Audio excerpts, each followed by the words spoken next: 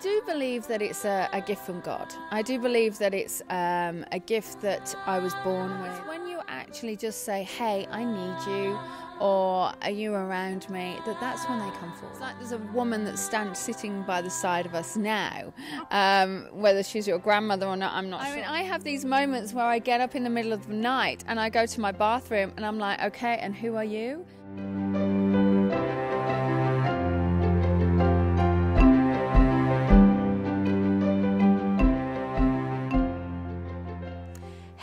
everybody. A warm welcome to Wisdom from North. My name is Jannicke, and I'm now in Drammen Theatre in Norway, next to the one and only Lisa Williams. Now, Lisa is an internationally acclaimed medium and clairvoyant. She's the author of uh, Survival of the Soul and Living Among the Dead, and she's now touring around Norway with her show Message from Beyond. Lisa, much, much welcome to Wisdom from North and to Norway. I know, isn't it gorgeous? I love Norway. You know, it's one of my favorite places. Yes, because you've been here many times, I've noticed. Many, many times. I feel like I live here now. yeah, and yeah. you have a lot of fans. It mm-hmm. seems like every show is sold out. It is. Um, the, certainly, this show, this this set of shows, um, I, I don't know what's happened. I think all of a sudden my popularity is, just keeps rising. It's it's wonderful. So let's talk about the shows that you're going to do tonight, for for instance, because I'm an actress myself, and I know that sometimes I can think like, oh, is my voice is, is my voice going to be there today? So what if the spirits don't show up? well, I panic. First of all, um, they never do. What happens is I actually go backstage. So after talking with you and having something to eat, I'm going to go backstage and I get in. I meditate, and then what I end up doing is I get a couple of messages and I start writing these messages down. And as soon as I've got the messages, then I go, oh, then I know that they're going to start coming forward. Okay, so you are kind of preparing. Yeah, I, I, think I have to prepare because if I don't prepare, then, you know, I don't feel as though I'm going to have a good show. Um, you know, there's certain things that I get into, I certain things I do like a routine, um, and that's what I do. I, I, I tend to prepare in that way. So let's move back from when you were young, because mm-hmm. that's when the gift came to you. And I saw somewhere that uh, it was kind of a frightening experience the first time. Yeah, I mean, there was times when I actually found it was quite interesting. I'd find that the, you know, I'd have hands and faces and things that come out the, out the. Um, at the walls and then I would hide under my covers. Um, and it was scary. But in fact, it still scares me now. And last night I was in my hotel room and I, I text my friend and I said, there's a spirit in here. And she said to me, What are you going to do? I went, I'm hiding under the bed covers. and it just reminded me about when I was four or five when I actually used to do that. So you're still afraid of them? I'm not afraid of them, but I think there's times that I just want them to go away, you know, and, and say, hey, I'm done, I'm done. So that's that's how I feel. Yeah. But you know, I've had it for years. I think my most memorable one was when I was seven, when my best friend Samantha, um, basically, she said, "Oh, I think you've got the gift." And she, well, I had all these books that were laid out on the on the shelf, and I had, and she said, "Let's see if you can guess which book." You know you've got and i had like hundreds and so she placed her hand on one of the books and i said i need connection with you and the book so i held onto her hand and i just had this vision of the princess and the pea coming about and I said, It's the Princess and the Pea. And she went, Oh my God. And I think we did that about eight or nine times, and I got every single book right. So that was the first real prominent experience that I really scared me. Really, really scared me. So when did you kind of decide that this I, I want to do this as a living? Because I, I guess it's quite a responsibility, yeah. and at the same time, um, well, I guess I have several questions here because uh, a lot of people have gifts, but then they are not necessarily awakened. Mm -hmm. Like, are, are, you working with your uh, spiritual development at the same time, in a way? Yeah, I mean, I'm always working with my spiritual development. There's always exercises that I do. There's always constant um, things that I want to do and, and constantly trying to develop myself. So I teach. That's one thing I actually do is I teach in a spiritual development school. I have my own school. And as I'm teaching my advanced students, I'm constantly learning. And so therefore I'm pushing myself as well as pushing my students. So I'm finding that my own gift is getting higher and stronger as my students gifts are. And so that's quite interesting. But there was never really a time where I went, I want to do this for a living. There was never really that moment. Um, I kind of fell into it. Um, you know, I I was, wow, I was, oh, I was in my early early twenties. You know, it was about it was about 18, 20 years ago that I basically started to really develop this. Um, and a friend of mine said I'm having really bad trouble with Dave, and I went, "Oh, he's cheating on you," and and all of this stuff came out, and I was like, "I'm so sorry." And I kind of wanted to put all the words back in my mouth, and what happened is everything happened to be right, and next thing I know, she told her friends and her family, and I was doing readings and readings, and at one point something had to give, something had to give in my life because I was doing so many readings and working full time, and then I was a single mum as well, I had to decide. And I decided to do my readings, and uh, it was about probably about uh, 14 years ago now that I decided to go full time into my readings.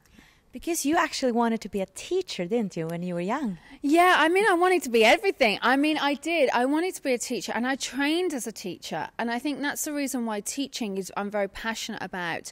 And I now teach obviously spiritual development and and mediumship. But it was very very important for me to actually um, try to educate people in the right way. And I think that's what I'm trying to do. So uh, in a way, I'm still teaching. Hmm. Oh, definitely. Yeah. I think so. Yeah. Uh, now, your grandmother had mm. this gift, and I've heard your son has this gift. Yes. And I'm wondering so, is it not like from, or maybe it's both? Is it in the genes? What is your perspective on that? Or is it a gift from, you know, the universe? Or uh, do you think it goes like in uh, your family in a way? I do believe that it's a, a, gift from God. I do believe that it's um, a gift that I was born with. I believe that I come from a generation of mediums and psychics. Um, I also um, for some reason, I've been brought in with this gift. I don't know what my contract was, why I was supposed to come in with it this this time round.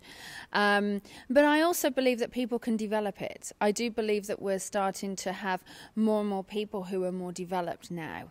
Um, I do feel as though we've got more and more people who are um, being born into the world spiritually developed as well. Mm. So I, I feel as though we're actually coming into a, a very spiritual way of life, mm. very much so. And you've probably found that yourself in your line of work. Oh yeah, definitely. It's uh, people are opening up more and mm-hmm. more, and there there are so many people talking about this now, and it's very exciting. Yeah. Um, I'm very curious. Uh, have you been able to? Okay, you can see the spirits, but have you been able to look into that dimension to see how it look looks like there? Yeah, I had a near death experience um, when, oh my gosh, now mm, maybe 10 years ago. Actually, probably not, probably about eight, nine years ago. And um, I, I crossed over, and the white light was there and everything else, which was quite incredible. Um, and it I have actually delved in and out. I have been able to. Through my spirit guides, through a lot of channeling I do.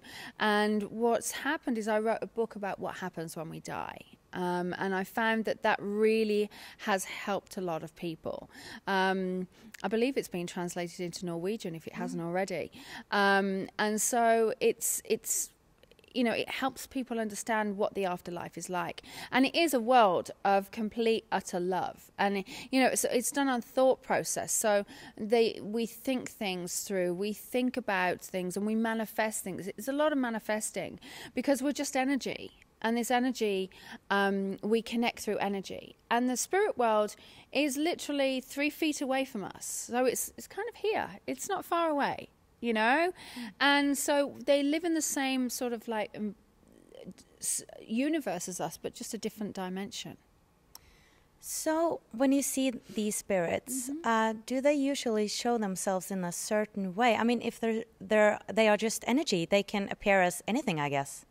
Absolutely, and they can. And I do have some spirits that will come forward, and they look very young, and then actually they're quite old. You know, they passed away when they were 80. And they say, Well, I wanted to look like this because this is the age I was happiest. And I'm like, Wow, okay. So it is quite interesting how spirits do come forward like that. Um, and so they'll they'll just come through how they want to be. You know, my grandfather, he was 82 and didn't have any hair, and when he comes back, he comes back at the age of 42 with hair because he didn't like having no hair. So, there's no time on the other side, right? No time at all.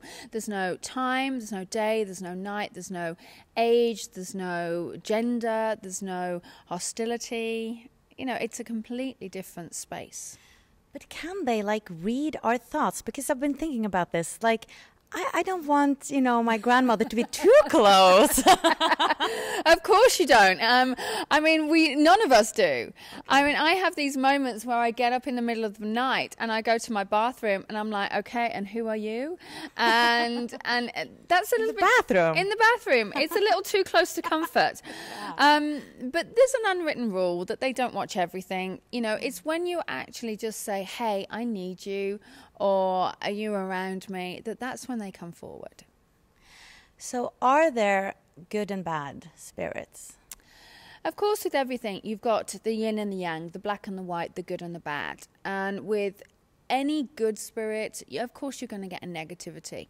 But it depends on how your own mindset is. So, uh, for me, I'm a very positive person.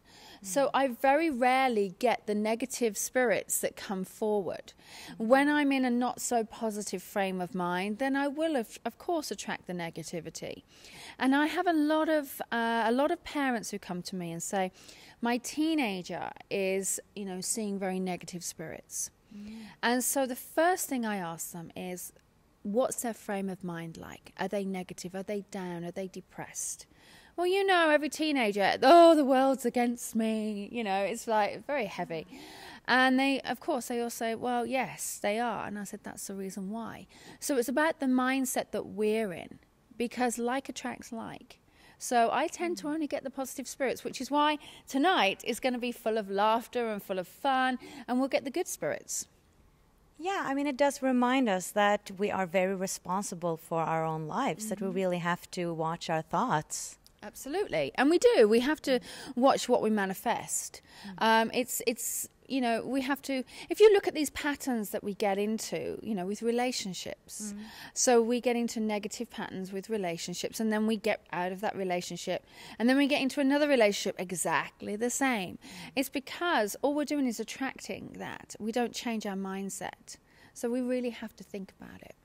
So, in uh, one of your books, I think it's Survival of the Soul, you talk a little bit about soulmates. Yes. Now, do we all have a soulmate? And uh, what is a twin soul? And do we all have a twin soul? Well, it's an interesting question because I'm actually expanding on that book now, and I'm actually writing a book on soulmates and soul families.